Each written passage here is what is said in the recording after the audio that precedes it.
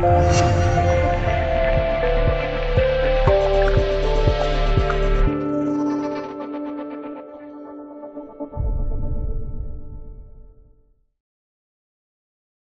京时间十一月二十二日，二零一九赛季亚冠小组赛抽签仪式在位于马来西亚吉隆坡的亚足联总部举行。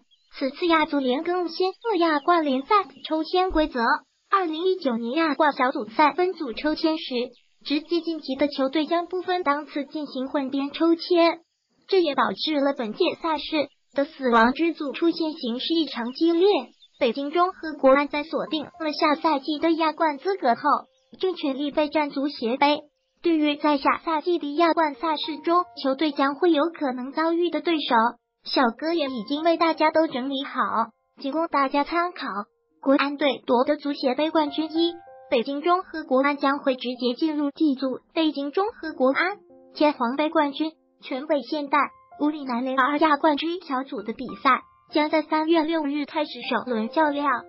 国安队获得足协杯亚军一，北京中赫国安将会与曼谷联泰国、河内 FC 越南争夺晋级预小组正赛的名额。二，北京中赫国安将会在二零一九年二月十九日进行首场亚冠赛事比赛，取胜则顺利晋级一组。庆南 FC 蔚山现代韩国、柔佛 DT 马来西亚、日澳。新印尼附加赛，北京中赫国安三亚冠一小组的比赛将在三月五日开始首轮较量。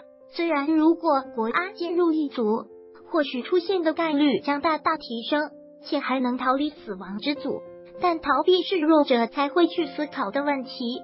小哥认为，国安不仅是一支强队，更是一支有着此刻精神的球队。我们不会惧怕任何一个对手。无论对手是谁，我们的目标只有一个，就是全力争胜，胜利终将会属于我们。期待国安这次可以以冠军的身份迎战强敌。足协杯送票方式具体如下：转发本篇文章至朋友圈，点击小程序进入 Max 北京微商城购买。